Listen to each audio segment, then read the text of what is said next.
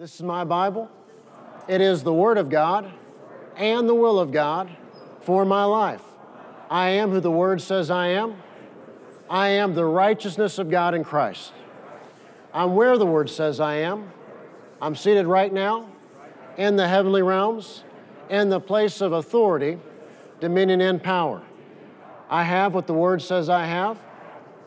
All the blessings of Abraham are mine.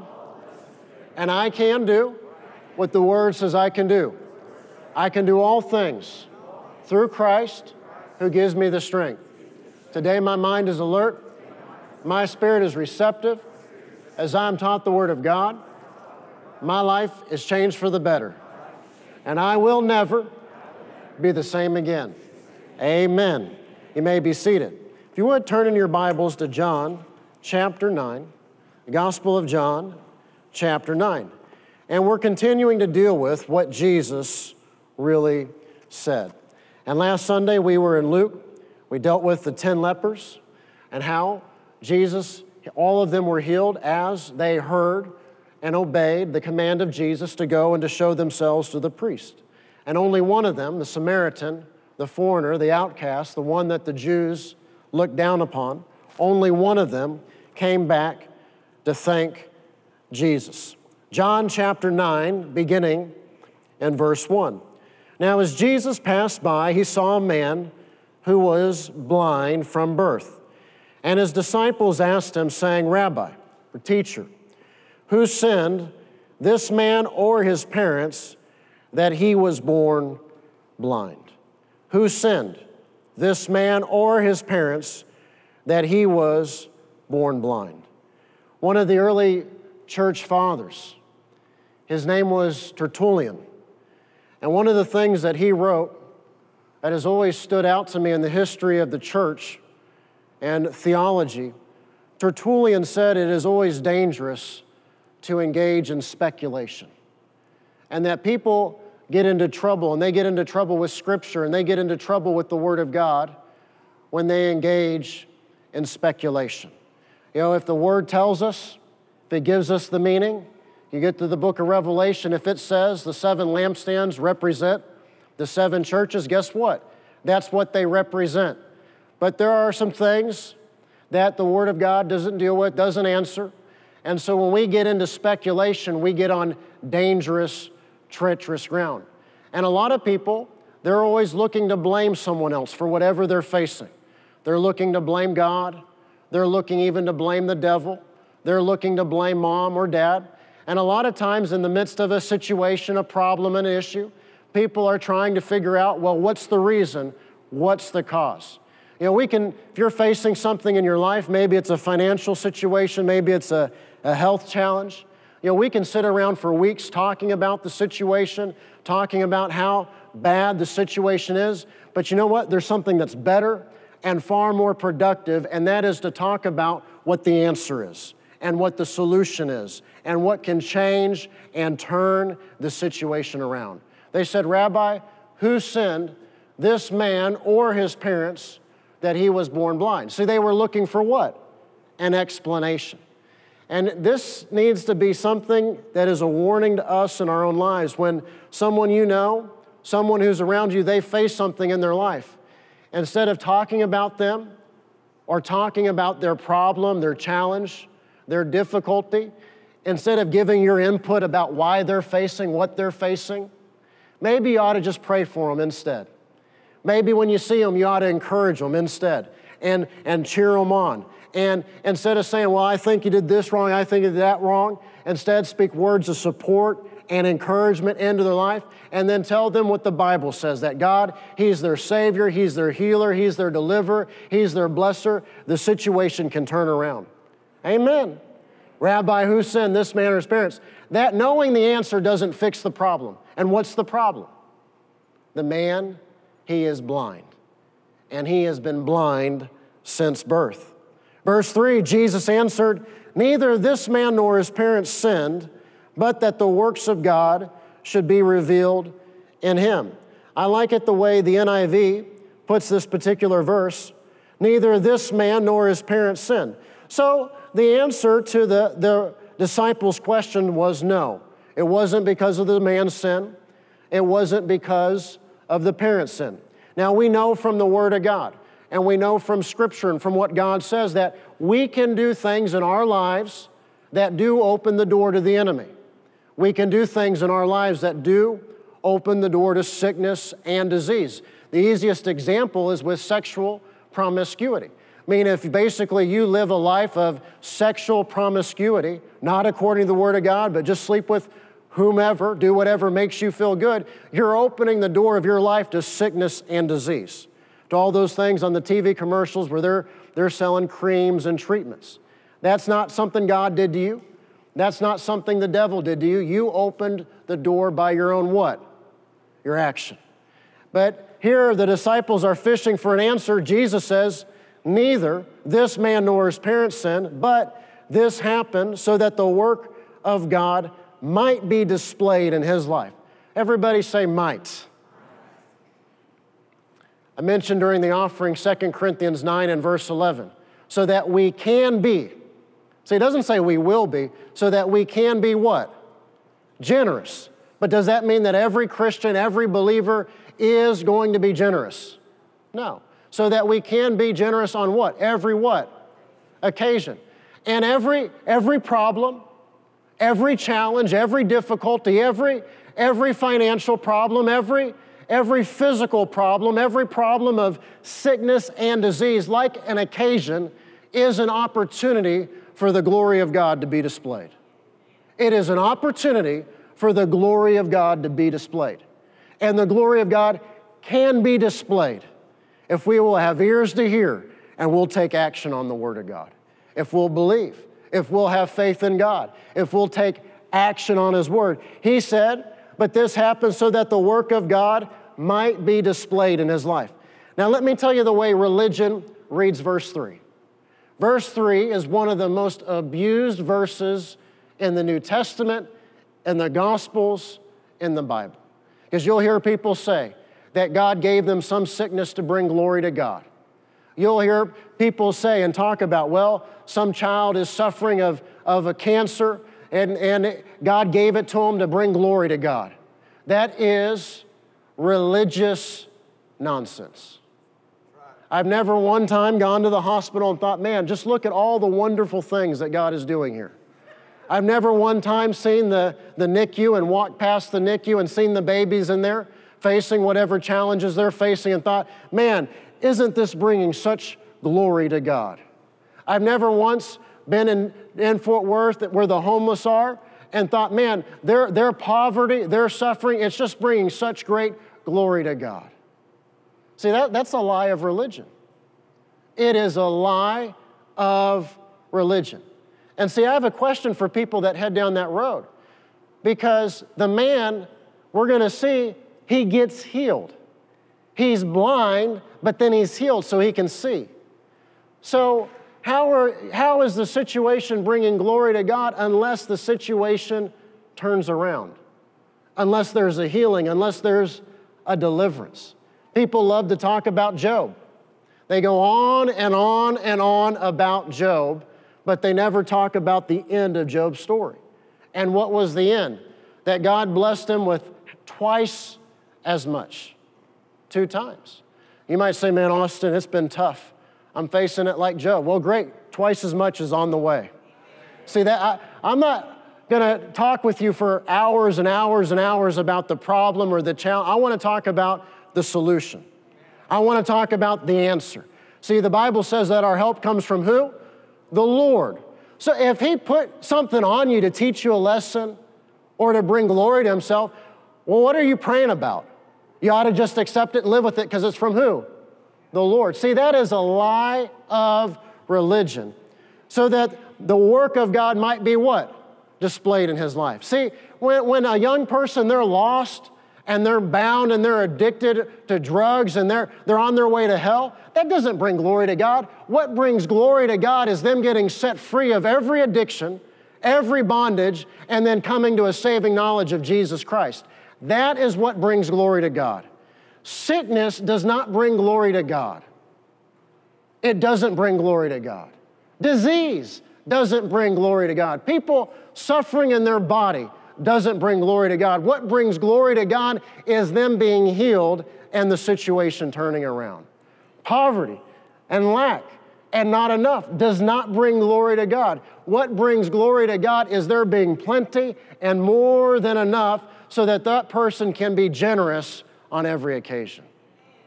That the work of God might be what? Might be displayed in his life. But see, we have a part to play. I said, we have a part to play. There are people that have you believe, well, it's God doing it to someone. Well, then there's no hope if it's the Lord. That's a lie of religion. And then there's another lie of religion that, well, something good will happen if it's your lucky day. Something good will happen if maybe you were predestined for it or whatever it is. No, no, no. God is not a God of favoritism. He, Jesus, He died that we all might be saved, that we all might be healed, that we all might be blessed, that the work of God might be displayed. Verse 4 As long as it is day, we must do the work of Him who sent me. Night is coming when no one can work. While I am in the world, I am the light of the world. Verse 6 Having said this, he spit on the ground, made some mud with the saliva, and put it on the man's eyes. You might say, well, Austin, why did he do it this way? Jesus did everything he did as led by the Holy Spirit. And Jesus, we know, he was anointed. Amen. Even his spit was anointed. Now, the proof is in the pudding.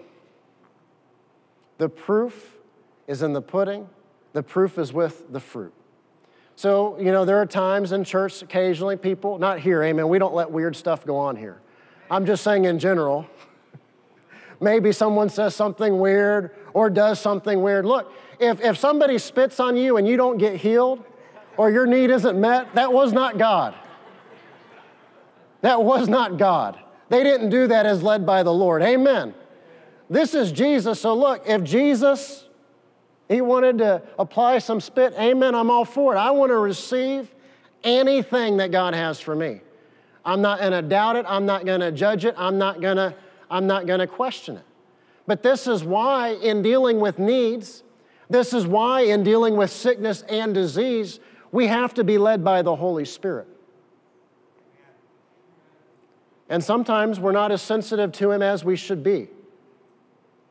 If you go back and study the healing revival in the 50s and the 60s, many of the great healing evangelists would require people to come to so many services before they would even pray with them. Why? Because the Bible says faith comes by hearing, and hearing by what? Hearing by the Word of God. And so they knew that if somebody had sat through so many services, if somebody had heard the Word of God regarding healing, so many times, they would get better results praying with them. And see, where Paul said to Timothy, what did Paul say to Timothy about the laying on of hands? He said, Young man, Timothy, do not be what?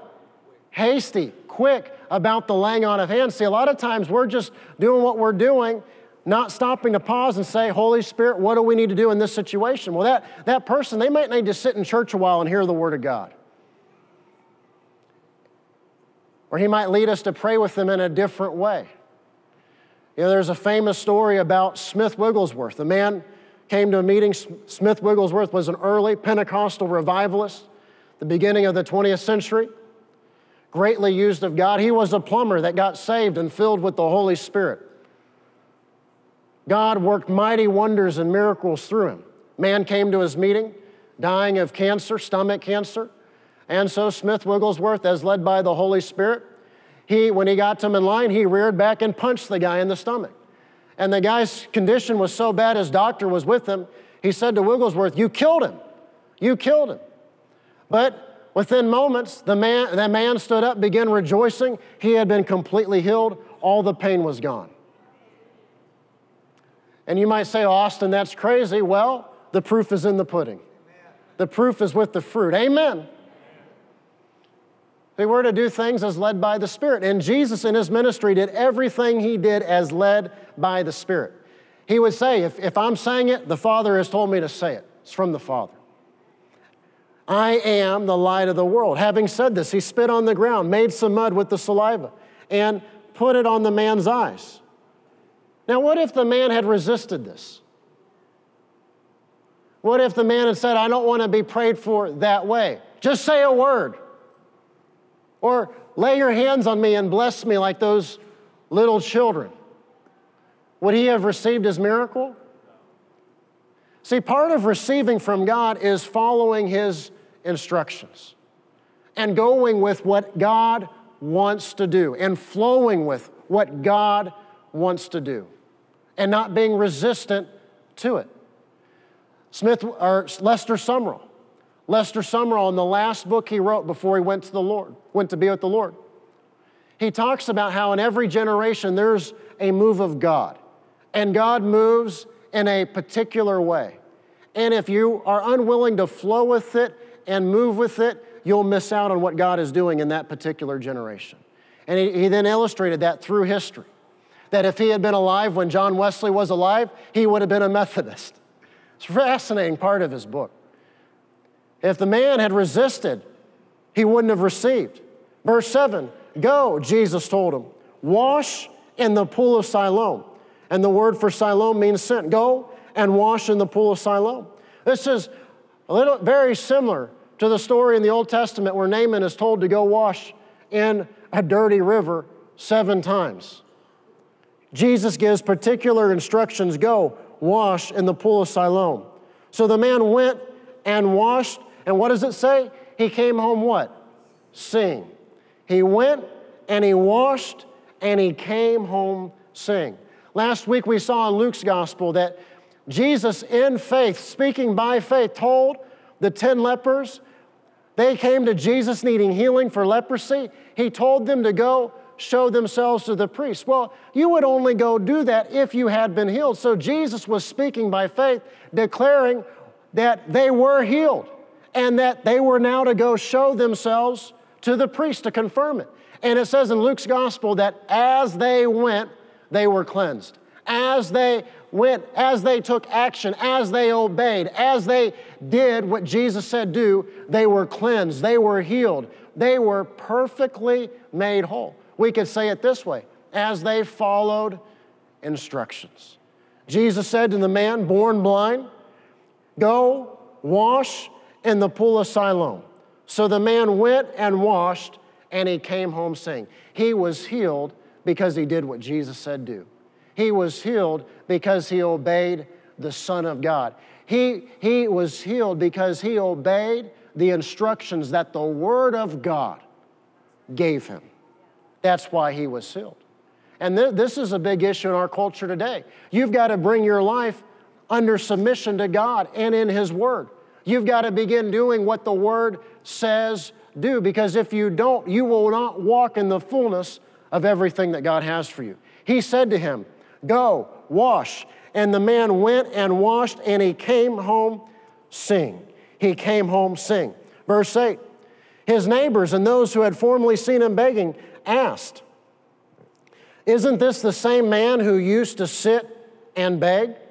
See, their time, their day was not like our culture today, where we have all this technology where if someone they can't see or they're disabled in some way, they can still work, they can still use a computer, they can still make a living.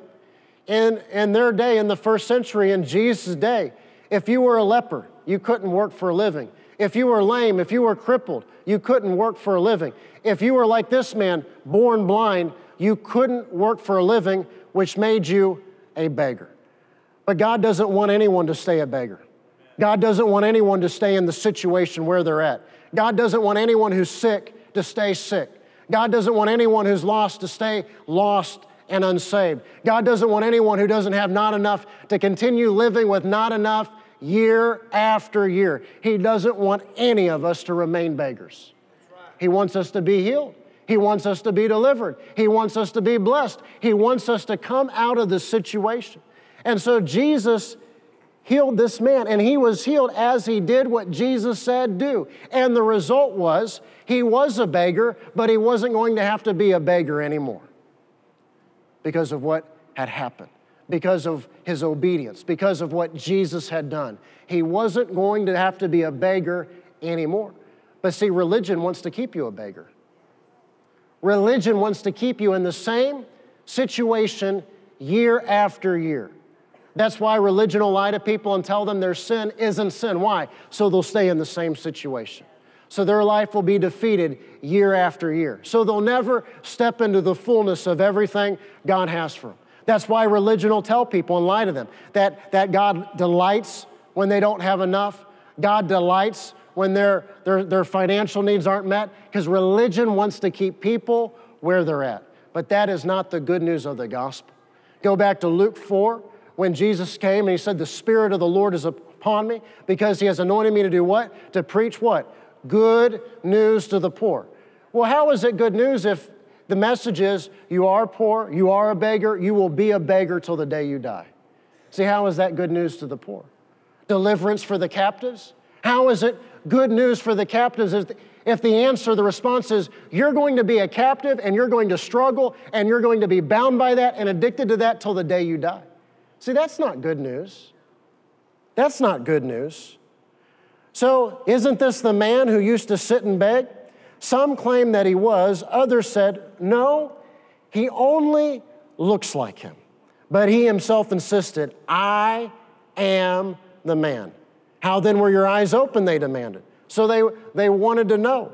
He replied, The man they called Jesus made some mud and put it on my eyes. He told me to go to Siloam and wash. So I went and washed, and then I could see. So notice, he was not healed. The manifestation of his healing was not done and complete until he had fully obeyed the Lord's instructions. So I went and washed, and then I could see. I ended the message last week saying to everyone be sensitive to whatever God is putting on your heart. Have ears to hear what God is saying to you. In our lives, is there, as we approach the end of this year, in our lives, is there some unfinished business? Are there some things in our lives that God has been dealing with us about all year that we have not yet done? Maybe it's going to someone and asking their forgiveness. Maybe it's something in your life God has been dealing with you about again and again and again, and you've not dealt with it. You've not handled it. You've not gotten that out of your life. You've not gotten that friendship out of your life. You've not stopped doing something that He has convicted you about. Or maybe it's something that the Lord has put on your heart again and again to do, and you've not done it. He said to them, So I went and washed, and then I could see. See, when we do our part, God does His part. There are a lot of Christians and they're, they're praying and they're asking God to bless them and increase them, but they're not doing what the Word says do. They're not following the written instructions that we already have, which is to what? To not rob God, to bring the whole tithe into his storehouse, that there may be food in his house. Test me in this, says the Lord, and see if I will not throw open the windows of heaven and pour out so much blessing you can't contain it. Now think about it. Do I need to fast to see the windows of heaven open in my life financially? Do I need to have 48 hours of prayer to see the windows of heaven open? I just need to do one thing, and what is that according to the word? Tithe. And you have people, and they'll do all sorts of things. They'll try this and that, and they simply won't bring themselves to do what the word says do, what Jesus says do and think about this man. What if he said, No, don't put that, don't put that mixture of clay and spit on my eyes? Or Jesus said, Go and wash in the pool of Siloam. What if he said, Well, you know, that's further away. There's this other pool that's closer. What if, what if I go there instead? See, he would have missed out on his healing. We have to be able to follow instructions. And the instructions we ought to be following are the instructions we have here in the Word of God. And this is a big deal for us in the culture we live in today because we live in a culture of rebellion. We live in a culture where young people, beginning in school, have been taught moral relativism that whatever you want to believe is okay, and that your opinion is as equally valid as any other opinion. I mean, they just named General Mad Dog Mattis to be in a high position to be the new Secretary of Defense once he's confirmed. Well, that would be like me meeting him at Starbucks and Austin telling General Mad Dog Mattis that Austin knows more about warfare. My opinion is not equally valid to his opinion. But we live in a culture where people have been taught everybody's opinion is equal and is valid, and you can just believe whatever you want to believe. And that's why people are more messed up than ever. That's why people are more messed up than ever. I mean, what does the Bible say about sex and marriage? One man, one woman being what? Joined together. Not one man and another man, not one woman and another woman. It's clear. But see, as long as people are trying to do their own thing, they'll miss out on what God has for them. Well, you know, Austin, I, I just, financially, I just don't believe I need to be generous. Great. You're going to stay where you're at. Your, your, your situation is not going to change. God is not going to step in and do a mighty work and a mighty miracle until you begin doing what His Word says do. He went and washed, and then he could see. See, it's our, our not following instructions that robs us of the blessings of God. This man followed instructions like the lepers as he went, as he obeyed, as he did what Jesus said do. So I went and washed, and then I could see. Where is this man? They asked him of Jesus. I don't know, he said. And we'll get to it next Sunday. I, I love what it says. What he says in verse 25 to the religious leaders. He says, I was blind, but now I can see. So you might say, Well, Austin, this is new to me. I, I've been taught God wants me to stay where I'm at. I've been taught that if, if I've got this physical challenge, I'm gonna have this physical challenge till the day I die. I've been taught that if I'm in need, I'm gonna be in need, that that's just the will of God for my life. All of that is a lie. God wants you to be able to say, like that man, I was blind, but now I can see. I was lost. I was on my way to hell, but now I'm on my way to heaven. I was lost, but now I have been found. I was sick in my body. I did have that physical challenge. I did have that disease, but I have been healed. I don't have it anymore. I was poor, but now I'm blessed. I was poor, but now I'm rich. I was poor, but now I can be generous on every occasion. That is the will of God for your life. That's His will. But you have, to have eyes to see it from His Word. He doesn't want your situation to remain the same. Today, December 4th, 2016, this Sunday next year, you ought to be light years beyond where you are right now. All you have to do is believe God, believe His Word, and take action on His Word and He is good, He is gracious, He is merciful. You will see His hand at work in your life in such awesome and wonderful ways. And you'll see His goodness, you'll see His mercy, you'll see Him work and bring about mighty provision even faster than you can believe. That is the goodness of God. I was blind, but now I can see. Amen. That's what God does. See, religion will tell you it's got to stay the same. People will tell you it's got to stay the same. But that's not what God says. Okay, there's this challenge. Okay, there's this difficulty. Okay, we weren't expecting it. But instead of talking about it, let's just say this is another opportunity to prove that the Word of God is true. Let's just say this is just another opportunity for the glory of God to be revealed. Not by you staying messed up, but by the situation turning around. Not by you remaining sick, but by you being healed. Not by you remaining in this need, but by that need being met. Amen. This is an opportunity that the work of God might be displayed in your life. Amen. So do not, don't be discouraged. You might say, Austin, you don't know about what I'm facing. You don't know about what I've been praying about. You don't know about the need of my life. The Lord does. This is an opportunity for God to do something great in your life. This is an opportunity for the glory of God to be displayed in your life. This is an opportunity for God to show His goodness in your life, not just now, not just in the remainder of this year, but in 2017. Amen and follow His instructions. This time of year, I believe it is so important that as we head toward the end of the year, we do anything God puts on our heart. We make right anything He's been dealing with us about. It might be someone you need to go and ask their forgiveness. Let's do whatever He puts on our heart to do. Amen.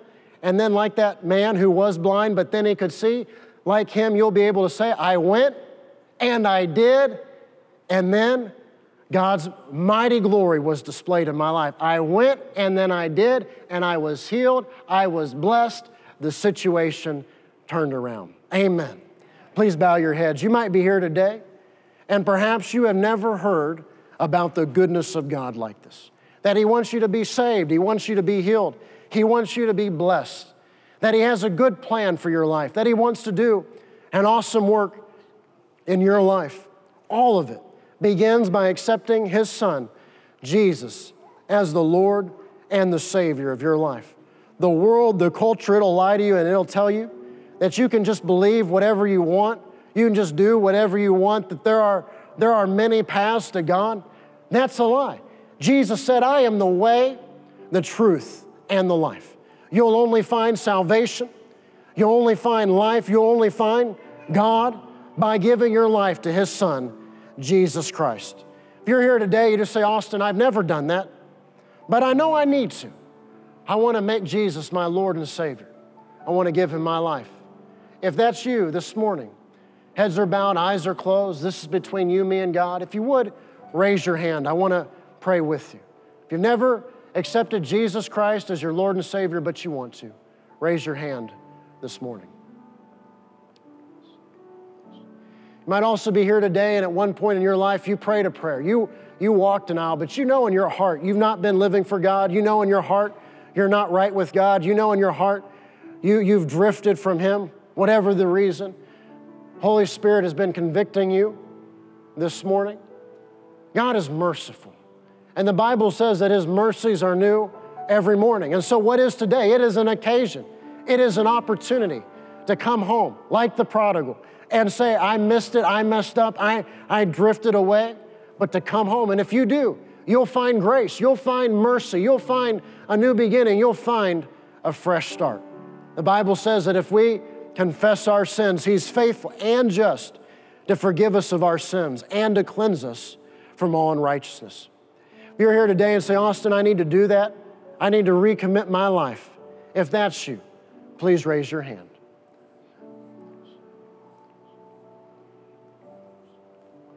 For the sake of those that raise their hands, we're going to pray. Repeat this prayer after me, and let's do that together as a show of support for those that have raised their hands. Say this prayer after me Heavenly Father, I repent of my sins. I believe that your Son, that He lived for me, that He died for me, that I could be forgiven of my sins. And I believe that you raised Him from the dead. Today I make Jesus my Lord and my Savior.